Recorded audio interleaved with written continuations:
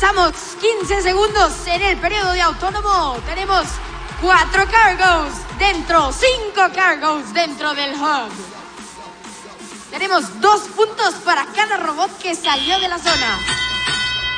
Los drivers comienzan a manejar sus robots. Vemos a 35-10 Tektronic que hará su mejor trabajo de defensa. 63-48 Horus está listo para lanzar su 1, 2 cargos. Cuatro puntos para la Alianza Azul.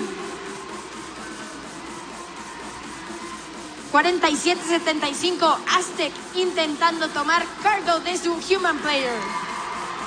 Dos lanzamientos más de Horus. 61-70 se le acerca Vitronic contra Horus. Aztec no se queda atrás y pone un cargo en Lower Hub.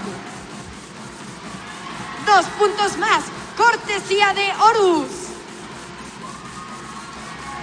Tenemos un choque de Aztec contra el Hub. Tenemos un cargo más para la Alianza Roja.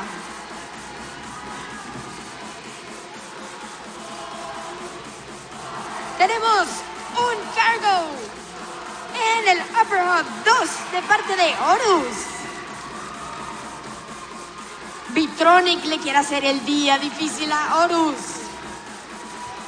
47-31 no se queda atrás y está tomando cargo para poderlo poner en el hub. Un lanzamiento, dos lanzamientos.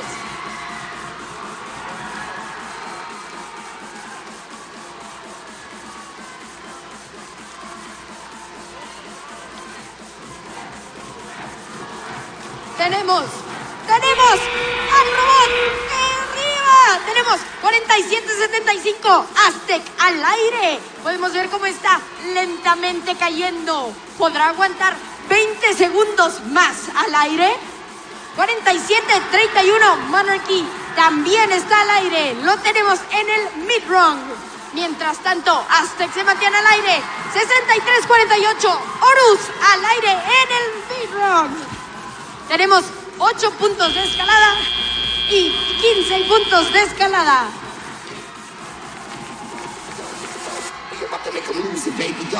Ganador de este partido Como. Azul.